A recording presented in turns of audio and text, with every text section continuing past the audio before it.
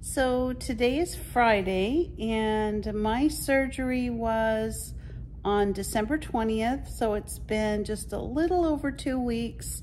Um, I was actually able to get my, uh, I don't know what you call it, kind of your bandage that goes over the incision that they did. I was able to get that removed yesterday.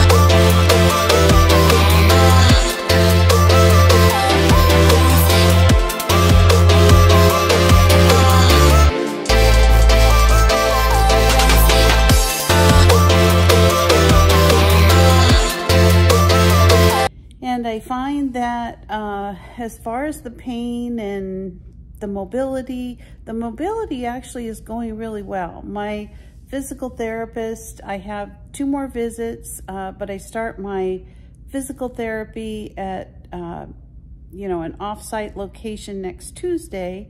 Uh, but he said I'm actually doing really well. I'm doing good range of motion. I have to be honest with you. is not for the faint of heart. It is very painful. Um, just, you know, imagine trying to, you know, you get a broken arm and instead of getting put in a cast, they tell you you have to keep bending it so it heals. That's really what it's like. It's just super painful. But every day is a little bit better. Um, I'm actually still sleeping on the recliner because laying flat in the bed is just it's really hard to get in a comfortable position for my knee. So I've been sleeping in the recliner since I've had the surgery. My goal is I'm gonna try Sunday to get back in the bed and see if that's any better. Um, I haven't slept good the last couple of nights just because I've had a lot of aching and uh, pain in my knee. But the therapist told me and the nurse called yesterday, said this is all normal. It's all part of the healing process. And, um, you know, it, you're going to have good and bad days. So I think today actually is probably one of the harder days I've had. I don't know. I've just had a really hard time managing the pain. Um, it was a really difficult physical therapy session yesterday. Um, you know, my physical therapist is very good. The person who comes to my house, he's, you know, very kind, very nice, but he's also like, you know, pushes you pretty hard. so, um, you know, he says that he sees a lot of good progress, that I'm doing excellent, but it, it's still difficult. Um, so I think any suggestions that I would give for people going through this is just have the mindset before you have the surgery that regardless of what you've heard or what anybody tells you, just know that it's going to be up and down. You're going to have good, you're going to have bad days. Um, the medication is there to take. You know, initially when I started this journey, I thought, I'm not taking any heavy narcotics. I don't want to take them. I'm afraid of getting addicted to them. I'm just doing Tylenol. and that lasted like a couple of days. Once all my, um, you know, epidurals and nerve blocks and all that wore off, it's like, okay, where's the Oxycontin? so I've actually been a lot better about trying to take, I don't take it regularly. I could take it like every four hours, but I don't. Instead, I like this morning I did have to take one. I'm just, I'm in a lot of pain. I didn't sleep very good last night. So I took one. I can take two every four hours. I took one And I hadn't taken one since yesterday before I did the physical therapy.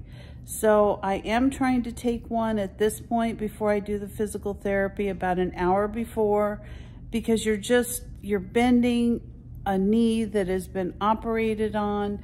There's just no way it's gonna feel good. It, it hurts and then it hurts afterwards.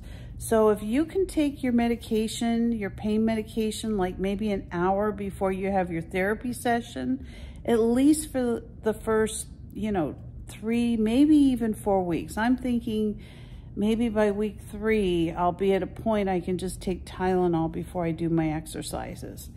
But we'll see. I'm not going to beat myself up if I still have to take an OxyContin every now and then.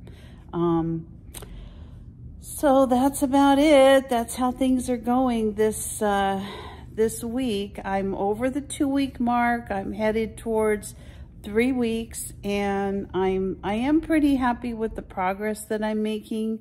I'm getting along pretty good. I'm at this point I still have am not able to drive a car because I just don't think my reflexes are good enough and my knees not still bending the way it should. But um, this Sunday I am going to try a shopping trip to Winco. Now, I'm going to use a scooter. They have them there when I go to the store. So I'm going to try that and hopefully, you know, I can at least get out a little bit. I've been in the house the last couple weeks and I'm definitely stir crazy. So, but I'm getting along fine. And uh, I just want to encourage everybody who is maybe going through something similar or is at a point where they're going to be getting some type of knee surgery, um, just to give yourself some grace. You know, let yourself heal. Don't overdo it. Push yourself. But as I said before, don't push too hard. You don't want to injure yourself.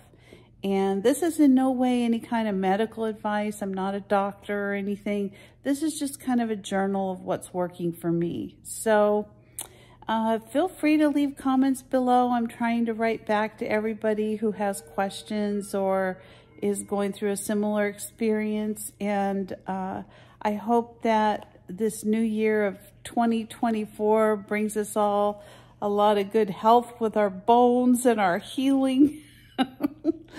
and I just want to say thank you again for subscribing. If you're not a subscriber, please consider subscribing to my channel. I would love to have you as part of my Homestead Patch family. So take care, everybody. Have a great Friday, and I'll see you next time. Bye-bye.